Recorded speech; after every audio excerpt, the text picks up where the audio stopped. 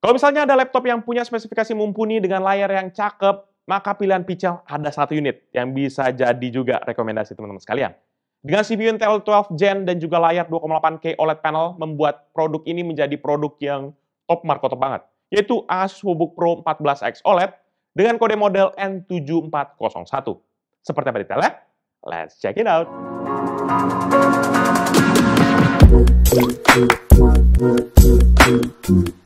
Halo guys, balik lagi bersama Pichel dan seperti biasa, seperti yang udah Pichel bilang tadi, kita akan quick review untuk sebuah produk yaitu Asus VivoBook Pro 14X OLED N7401.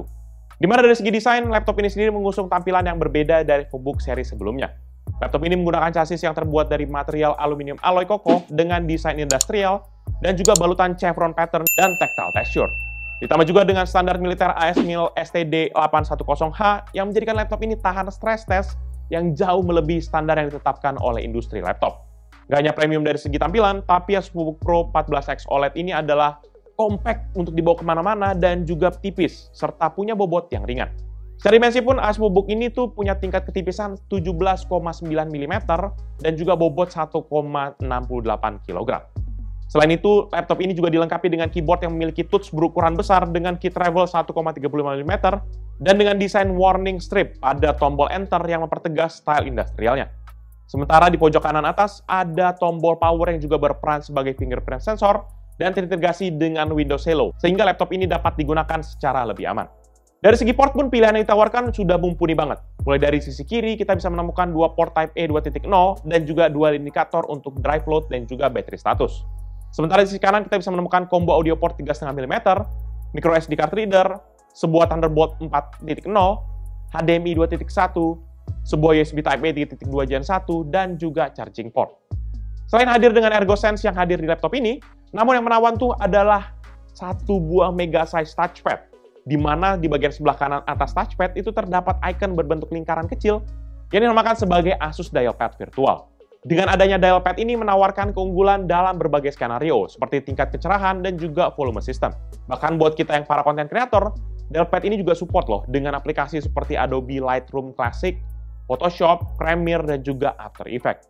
Di bagian layar, laptop ini dilengkapi dengan OLED panel berukuran 14,5 inci dengan resolusi 2,8K atau 2880 x 1800 pixel dengan aspek rasio 16 berbanding 10, refresh rate 120 Hz dengan tingkat kecerahan 600 nits, serta color coverage 100% di CIP3 dan response time 0,2 milisecond.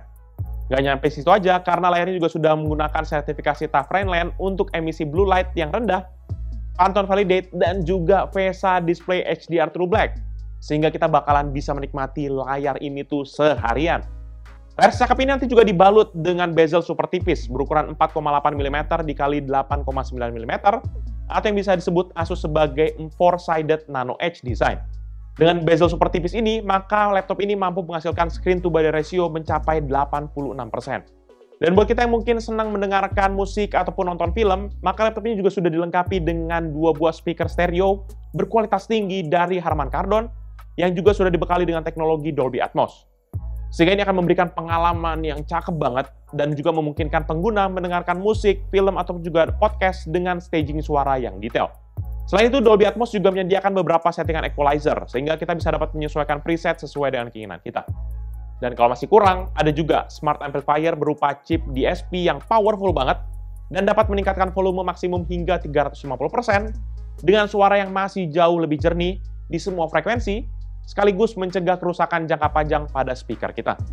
Nanti di bagian kamera pun terlepas sudah ada webcam, namun juga ada nih webcam shield yang membantu menjaga privasi kita, ditambah juga dengan teknologi 3D NR atau 3D Noise Reduction yang diklaim dapat mengurangi hingga 94% noise secara alami, terutama dalam situasi cahaya redup dan juga kualitas gambar yang jauh lebih mantap.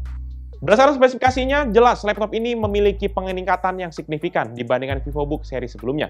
Dilengkapi dengan CPU 12 Gen Intel Core H Series dengan versi tertingginya yaitu Intel Core i7 12650H, ini tuh memiliki TDP 45 watt dan juga 10 physical core dan juga 16 thread. Gak sampai di situ aja karena CPU ini juga memiliki frekuensi boost maksimum hingga 4,7 GHz. Buat yang bingung, CPU ini biasa digunakan loh dalam laptop gaming yang artinya laptop ini memiliki performa yang ya bisa disandingkan dah dengan laptop-laptop gaming.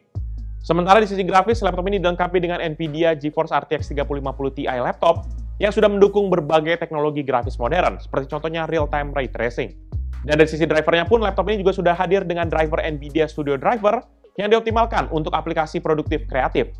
Ditambah dengan internal yaitu memori DDR4 3200 MHz berkapasitas 16 GB untuk varian tertingginya. Sementara pada sisi penyimpanannya sudah ada NVMe PCIe 4.0 SSD berkapasitas hingga 1 TB. Nanti di sisi software, laptop ini juga sudah dilengkapi dengan Windows 11 Home, sehingga kalau kerjaan kita lagi numpuk, maka laptop Asus dengan Windows 11 ini siap membantu kita menyelesaikannya. Dan nggak hanya dibundling dengan Windows 11 yang asli, namun juga sudah ada genuine Microsoft Office 2021 untuk menunjang aktivitas kita sepanjang hari. Jadi saat kita membeli notebook ini, maka sudah nggak perlu lagi tuh mengeluarkan uang lebih untuk kita bisa pakai Office, ataupun kita mau tetap produktif pakai laptop ini. Jadi udah tinggal siap pakai.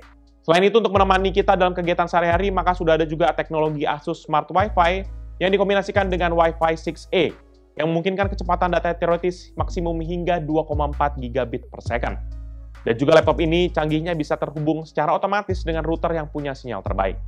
Jelas teknologi-teknologi seperti ini akan membantu banget lah buat kita yang harus bekerja kantoran dan harus berpindah-pindah ruangan saat meeting. Dan dengan desain futuristik dan juga spesifikasi yang tinggi, maka laptop ini juga sudah dibekali dengan baterai 3 cell lithium ion 70.000 mWh yang dalam penggunaannya dapat menunjang produktivitas tanpa ngecas. Dan juga dalam paket penjualannya kita juga sudah mendapatkan charger dengan daya yang tinggi yaitu hingga output 150 watt. Laptop ini pun juga sudah memiliki teknologi pengisian cepat, yaitu fast charge technology, yang memungkinkan mengisi daya baterai sebanyak 50% dalam waktu 30 menit. Sehingga dengan spek yang menawan dan juga layar yang jelas punya kualitas terbaik, maka Asus ProBook Pro 14X OLED jadi salah satu pilihan terbaik buat kita. Mulai dari CPU Intel 12 Gen hingga kombinasi dengan GPU NVIDIA RTX 3050 Ti laptop, serta software Windows 11 Home dan juga Office yang original, menjadikan kita nggak usah lagi khawatir pada waktu beli device ini tinggal langsung run and go aja. Harga pun laptop ini dibanderol dengan harga 23.500 sehingga ini jadi salah satu must have items for creators atau recommended banget lah buat kita para creators. Terutama berkat dengan performa yang bertenaga dan juga desain tipis dan ringan yang memudahkannya untuk dibawa ke mana pun saat kita jalan-jalan.